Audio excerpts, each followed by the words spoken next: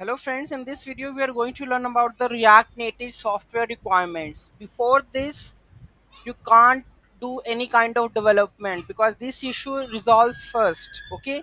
So uh, what I face the issues, I'm explaining it, right? So software requirements like Android Studio video is already prepared and uh, listed in the YouTube. You can go and check out, right? Node.js, uh, you can install the Node.js and NPM. After this, you need to install NPM G global react native cli right? After this you need to open this file sudo nano file. Okay let me open this.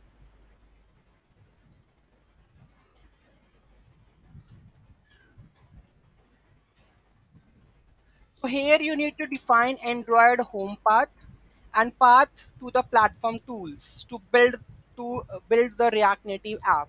So this is very very important. If you're not going to do this then again you are skipping something and your project will not run right? So this is very important. Next uh, i found it like um, then you have to install the uh, sudo apt-get installed auto auto tools dev right? So these are the necessary points that you need to fix it and uh, local properties for uh, take like um, whenever you build a project there uh, you are facing the issue. That is uh, like um, give me a second i have mentioned that one as like uh, this one.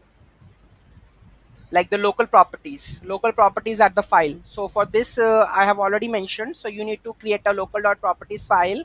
And here you need to define.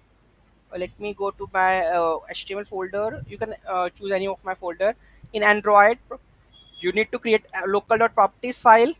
And here you need to mention the directory path home rajnikant android and sdk then you are successfully able to build the app right? Again if you uh, if you are finding any kind of issues then again you can let me know in the comment box.